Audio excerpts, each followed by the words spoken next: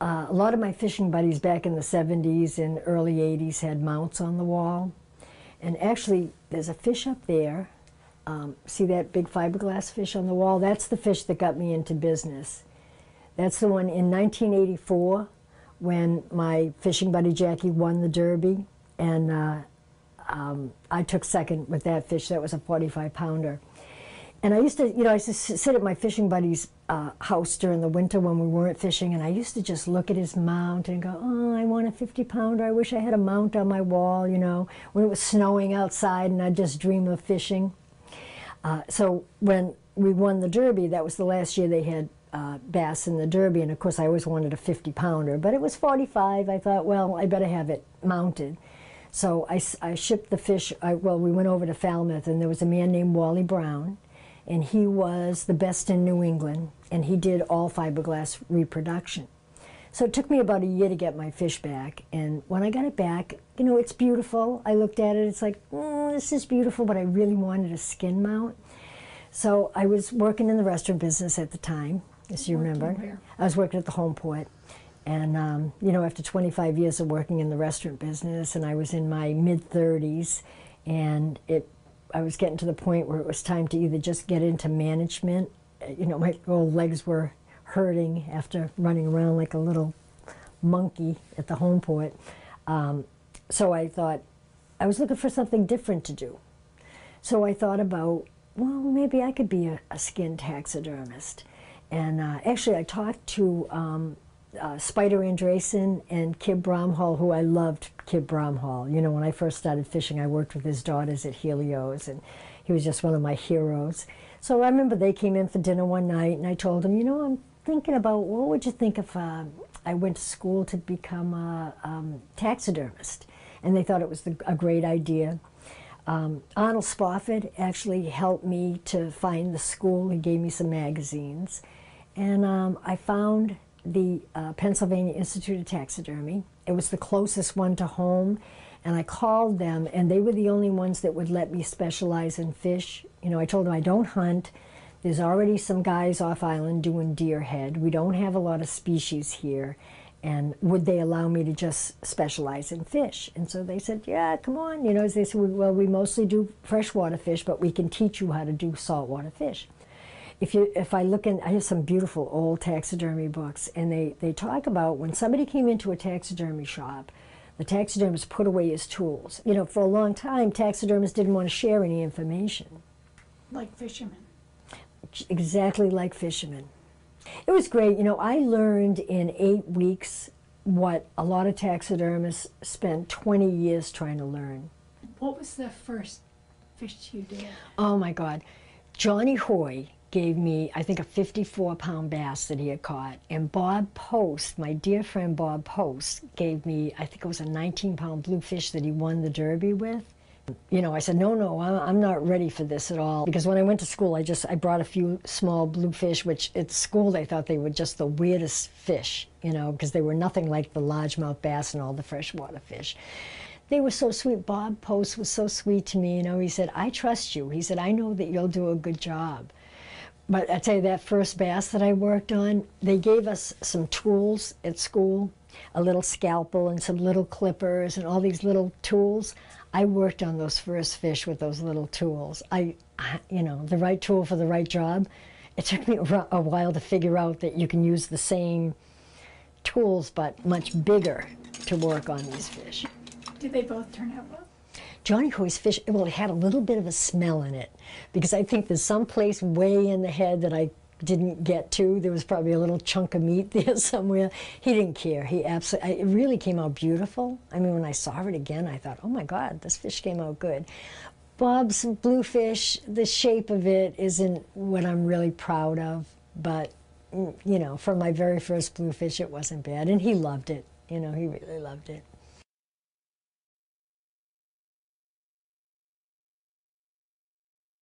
Well, the first thing I do is I make a pattern of the fish on craft paper. Um, uh, if it's a world record, I try to get a lot of caliper measurements, you know, in millimeters, so that I have it really pretty close to the, its exact size. And I lay the fish on the craft paper and I do the side pattern, and then I stand it up so that I do it, you know, up and down. I don't know what that's called, lateral, a lateral pattern. That little one down there with the the smaller chunky one, the second one, yeah, the the, bo- the bottom one. That's sort of the what I like. You know, it's sort of a natural, very natural. Its head is kicked out a little bit. It's you know, it's got a little bit of an S shape to it because that's how a fish swims. So anyway, I do the pattern. I do a, a you know, a laying down pattern, and then I stand the fish up and I curve it. If I'm going to do an S curve, I block it all up and try to do a little S curve. Take a lot of measurements. Then I put my pattern aside, and then I, I figure out what side of the fish is going to show, and then I cut through the back of the fish. And oh, actually, I just happen to have a fish here. I'll be darned.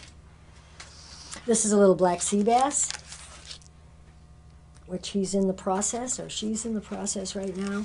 So you can see where I cut this fish down the back, and then I come in with a little, you know, various little cutters that I have, little flat knives with serrated edges, and I come in and I scrape in between the skin and and the meat, and I take out that body of meat. That backbone that I talked about, you know, they have a backbone that runs through the fish into the back of the head where the brain is. That has to be chiseled out and then I then the fish is kind the skin is open. Then all this is attached by bone in here. There's a lot of bone in here, so that's a lot of picking. Little pieces of um, that has to be clipped. The bones have to be clipped down close to the skin. On the I'm on the inside, and and get in there and cut that bone before you can open up the skin. You have to do that. Then I take out all the meat out of here, and then the the hardest part, especially on a big fish like this, I could probably spend.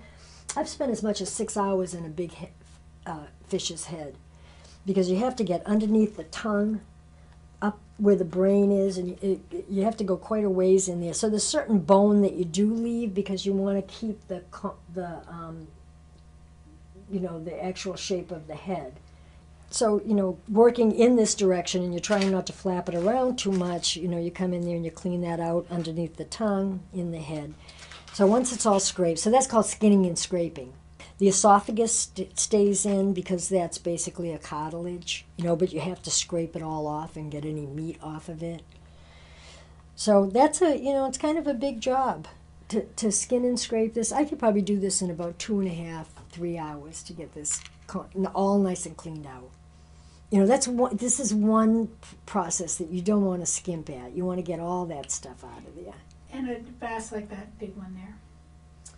I, I would say it's a full day's work. Um, if it comes in fresh and I have time to work on it, then I'd rather do that. A lot of times people would ask for the fish back. So if I could return that body of fish, uh, fresh fish for them, so then, you know, they can mount their fish and eat it too. But if not, it goes into the freezer and then, you know, the fish is still edible. You know, my cats ate good and my neighbors ate good. So, you know, there's not much that goes to waste so, so now at this point you have it doesn't even look like a fish anymore. You know i have the head but everything all the skin is just kind of hanging and you know there's no form to it. At that point it gets put into a degreaser. Um, i use um, white coleman fuel and it can go in anywhere from an hour and a half to two hours for a fish this size or i could leave a fish like this in overnight you know 8 12 hours. What do you put it in a pot or? yeah i have some big tubs you know, and I don't have to fill them up to the top, just enough to um, cover the fish. And the nice thing about that, that's the most toxic product that I use, and yet I can use it over and over again.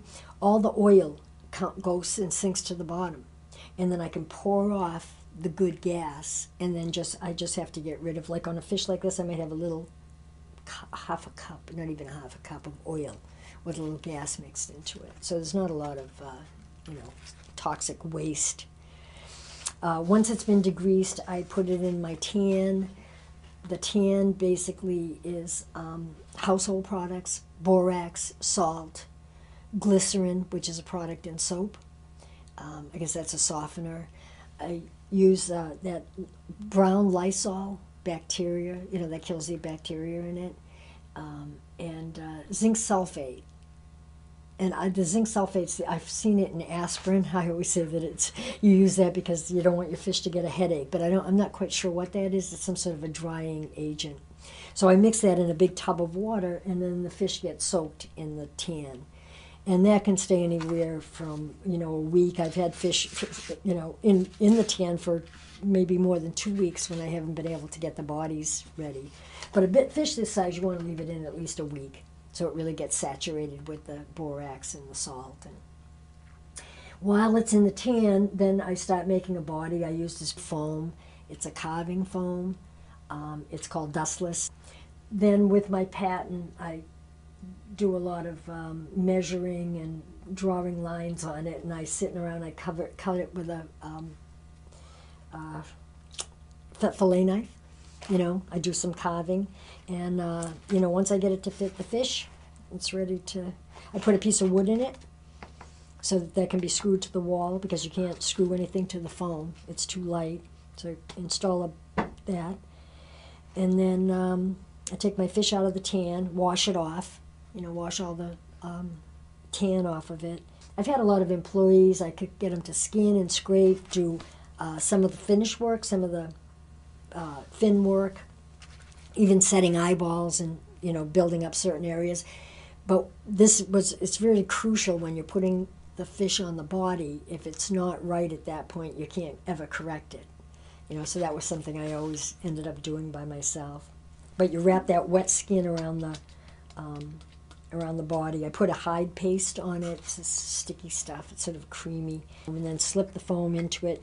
Use a lot of paper mache to fill in areas like the cheek meat that came out of here and the eyeballs and little places in the head where you can't get your foam. So I fill it with paper mache and then sew it up and you know get that as close as you can. I actually sculpt in scale so they won't even see this after when I'm when I'm done.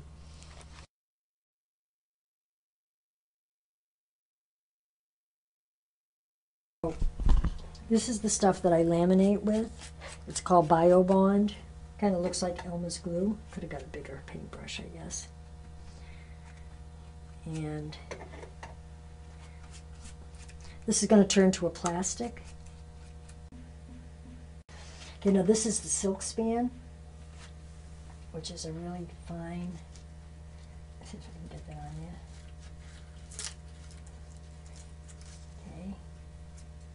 Okay, now this is the trick I learned in the magazine. Watch this.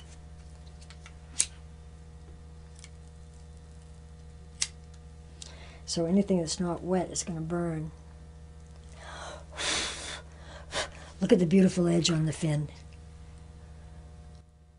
Even when I was in school, we couldn't do that. And it took like, you know, a whole day of sitting there with all my fish trying to cut little things with a scalpel. And see that? Voila.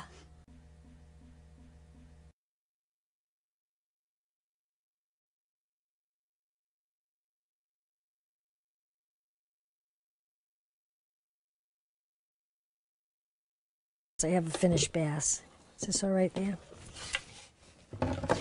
So what I did with the fish, um, I actually got permission. The Derby, the, when they first put bass back in the Derby, they didn't want to give any big prize, and they were saying, you know, what what can we give? So I said, well, why don't I? I can make a little fiberglass fish, and we could put it on a shield, and you know, we can offer that for a prize. So the Derby was like, that's great. So I got permission. So since it's 20, well, at the time it was 36 inches for a bass. So I got permission from the state to keep one undersized bass. And uh, oh my God, you'd think I was committing murder. You know, I had my little plastic bag and my little note from the state, and I was catching these undersized fish. And of course, I wanted it to be just the most perfect uh, size and shape so that I could make a mold of it. So I made, I was able to make this mold. This mold is really old now. It's from, uh, I don't know, let's say 96? 2006, I think it's older than that. Uh, so what I did with the fish, when I caught the fish, I put the fish in a bedding. Uh, it's called high fiber. And it takes a lot of time to just make sure you got the fish halfway in. Then I pour, I put a release agent on it. Then I, this is simplified. Then you, I pour uh, a, a, a mixture of Bondo and fiberglass resin on top of the actual fish. And I let that dry. Then I flip it over, take the bedding off, and then the opposite side, uh, do the same thing, put a coating on it, and then pour your fiberglass resin and molding, um, fiberglass Bondo and fiberglass resin, And then I would have like a fish that's sitting there rotting in this, and then you take it apart, take your fish out, and this is a mold. Okay. Um, oh yeah, I put little keys in there so that it matches up. And so what comes out of this? Actually, it looks like that in the beginning when I first take it out, because you can see I have little fin. I molded the fins. So I coat this, I, I use a butcher's wax to wax it all up. I have another release agent, and um, then I do a fiberglass layup on both sides, put a piece of wood in it, so you have the piece of wood, then close them up, and when you open it, you have something that looks like that. And then later, when I'm done with that, it ends up looking like this. But So say if a customer came to me, say if you came to me and you said, uh, Janet, I want, I just caught a shark. Can you do a certain shark for me? And if I don't have the mold for it, I would call a company somewhere in the United States and buy a blank. In fact, those two um, mahi mahi, that's what I did with these because I didn't have the mold for them. So that cost me $800 to get the blanks here. So when these came into my shop, they looked like that shark did. So, but, so what you're mounting then is not the fish they caught? No, it has nothing to do with your fish. You don't, in, you know, I don't want to see the fish. So it's a replica of their fish. But you know, I mean, um, fiberglass has a has its purpose. A lot of catch and release guys that don't want to take a fish now, you know, you could do a fiberglass reproduction for for them. And you can say, he, if someone can say to you, I caught a forty-two pound bass, Right, make me a. right. And there's enough companies around that that's all they do. They're not taxidermists; they're supply companies. But I could this since this company is new that does these. I caught the fish and I sent it down to them in Texas. I froze it and sent it overnight. So it cost me $100 just to send it down overnight, frozen. And then they made a mold of it. So now they own the mold and they sent me the first one out of the mold. So that one is kind of a real fish. Yeah, this is a real one for me. But now if a customer came to me and said I caught like a 30 some, what is it? I don't know, 28 pound fish, I could give them one of those.